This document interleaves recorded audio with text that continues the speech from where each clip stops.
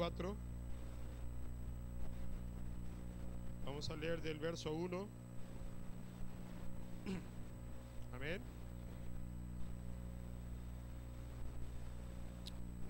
Hasta el 16. Amén. ¿Todos lo tienen? De un fuerte gloria a Dios. Bendito sea su nombre. Amén. Lo vamos a leer alternadamente en el nombre del Señor Jesús. Yo pues, preso en el Señor, os ruego que andéis como es digno de la vocación con que fuisteis llamados.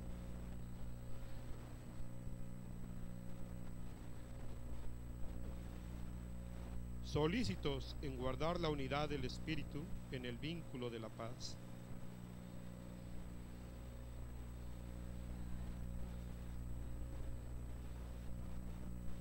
Un Señor, una fe, un bautismo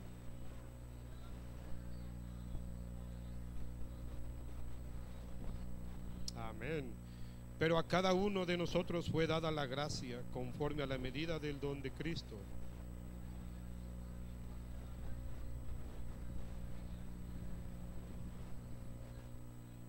Y eso de que subió, ¿qué es? Sino que también había descendido primero a las partes más bajas de la tierra.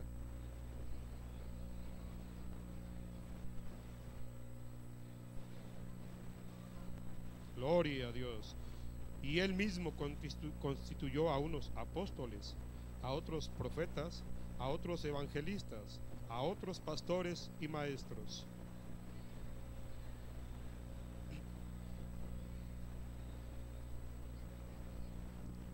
Hasta que todos lleguemos a donde, mire, a la unidad de la fe y del conocimiento del Hijo de Dios, a un varón perfecto, a la medida de la estatura de la plenitud de Cristo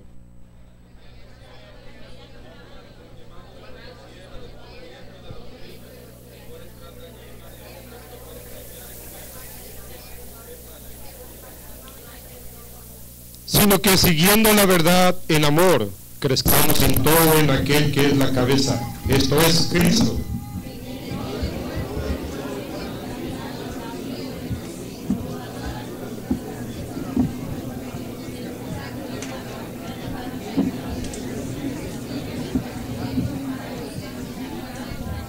Amén. Gloria a Dios.